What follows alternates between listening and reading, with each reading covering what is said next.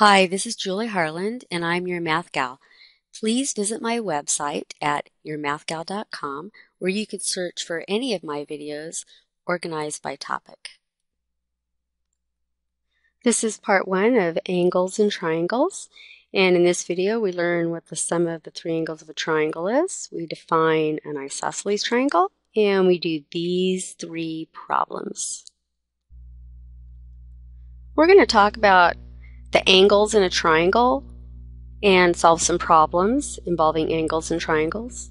So first of all, here's just a basic old triangle and you notice there's three angles in a triangle and what we need to know is what the three measures of those angles add up to.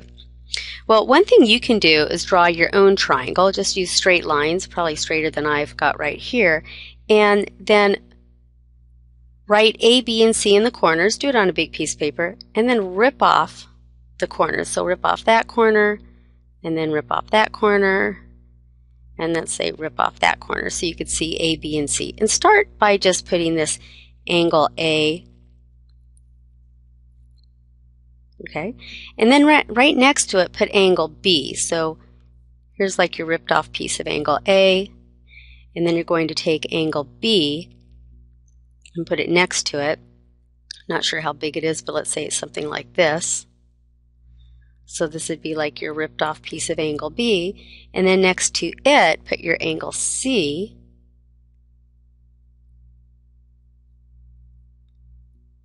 And if you do this, you've got these sides all adjacent to each other, these angles, when they're all next to each other like that, form a straight line. See this straight line right here? Will form a straight line. So that's really interesting. What it's telling you is if you know the measure those those three angles, if you add them up, it adds up to 180 degrees. So if we call A, B, and C just the measures of the angles, I'm going to use little letters for the measures, A, B, and C. So it could be in degrees. It adds up to 180 degrees. And that's the first important fact about angles in a triangle. If you've got three, uh, three angles in a triangle, their measures add up to 180 degrees. So here's a problem. If two angles in a triangle have measures 40 degrees and 60 degrees, what is the measure of the third angle? Now I realize some of you could do this in your head, that's fine. But let's just say how would we solve this if we couldn't do it in our head? So how about letting be x be the measure of uh, the third angle. So I'm just going to write third angle, but I'm really talking about the measure of it. So we know that if we add the three angles up, we get 180 degrees. So we could write 40 degrees plus 60 degrees plus the third angle. We know it adds up to 180 degrees. So I've got 100 degrees plus x equals 180 degrees. And then if I subtract 100 degrees from both sides, that tells me x is 80 degrees, and that is the measure of the third angle. Now you don't want to leave your answer as x equals 80 degrees because look at the original problem. There was no such thing as solving equation or it doesn't say what's x, it says what's the measure of the third angle. So you'd write the third angle is 80 degrees. Now, it could be that you could leave off this degree symbol as you solve the problem, but then at the end you have to remember to put it there because when you're writing your equation, it's just to help you find the correct answer. So some people will leave off the degree symbol and just write this. So you don't even see the degrees because sometimes they get in the way of more complicated problems. So you'd write x equals 80. That's why in the end you have to make, make sure that you're really writing the, the answer to the problem, which is 80 degrees. And now we're just going to check it. Do those three angles add up to 180 degrees? So I've got 40, 60, and 80, and you add it up, and you make sure it adds up to 180 degrees. That's how you know it's correct. So here's one for you to try. So put the video on pause and try this problem. Okay, let's do it. Let's say that let's call x the third angle. I'm going to leave off the degrees this time just so it doesn't get in the way. So I've got the 53 plus 68 plus the third angle is 180. I really mean degrees, right? But to solve this problem, I'm just leaving it off temporarily. So if we add like terms over here, I've got 121 plus x equals 180. And I'm going to subtract 121 from both sides, which is 59. So my answer is, what's the measure of the third angle?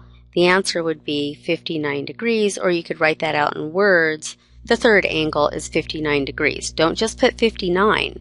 In fact, if you don't put the degree symbol in there, it's wrong because there's another way of representing angles without degrees, and it means something totally different. So be careful that you remember to put that little degree symbol there. And let's go ahead and check it. We've got 53, 68, and 59. Let's add them up. So 3, 8, and 9, that's 20, right? Carry the 2. And then we've got 7, 11, 180, adds up to 180 degrees. Cool. So 59 degrees was the correct answer. All right, there's a special triangle called an isosceles triangle. In an isosceles triangle, two of the angles have the same measure, at least two angles. So let's say this is isosceles. Let's say if these two are the same measure, I'll call both of those x, and then the third angle up here, which I'll call y, has a different measure. In fact, they could all three have the same measure. That would also be isosceles, but usually it refers to only two angles with the same measure. So here's a problem involving an isosceles triangle. In an isosceles triangle, one angle is 15 degrees less than one of the equal angles. Find the measures of the three angles. So we don't know any of the angles here, so we have to de uh, define all of them. So let's say we've got one of the equal angles. Let's call it x. And then the other equal angle would then also be x, right? And then what, what would be the last angle? I'll call it the third angle. This is the one that is not one of the equal angles. It says it's 15 degrees less than one of the equal angles. Well, one of the equal angles is x, so you'd have to subtract 15 from x. Again, I'm not writing in the degree symbol, but in reality, it would be minus 15 degrees. Okay, now we need to find the measures of the three angles. And what do I know about the three angles of any triangle? I know they add up to 180 degrees. So we take the first angle plus the second angle plus the third angle. All right, can you see the three different angles? First angle, second angle, third angle. Adds up to 180 degrees. So we're just going to add like terms here. 3x minus 15 is 180. And I got to add 15 to both sides. So 3x is 195. And then we're going to divide both sides by 3. So x is 65. Now remember that is not in degrees yet, but our final answer must be in degrees. So let's go back up. X, what, what did that stand for? It stood for the measure of one of the equal angles. So one of the equal angles is 65, and so is the other one, right? And the third one would then be 15 degrees less than that. So 15 from 65 would be 50 degrees. So first of all, let's check that that adds up 65, 65, and 50. So we add up, and yes, it adds up to 180 degrees. So the answer then would be the angles are 65 degrees, 65 degrees, and 50 degrees. And actually, you want to go back up to the words and see if that makes sense. If they were 65, 65, and 50, let's see, does it make sense?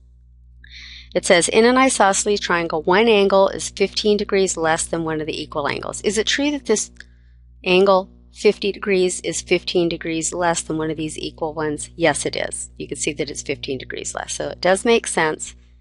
And so this is the correct answer. The angles are 65 degrees, 65 degrees, and 50 degrees.